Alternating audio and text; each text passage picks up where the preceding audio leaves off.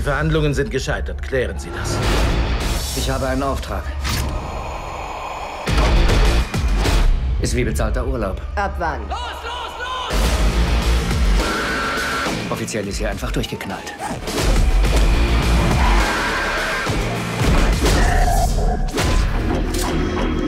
Entweder du sagst mir jetzt, warum ihr mich verraten habt, oder in zehn Minuten, wenn du meine Hände an deiner Kehle spürst.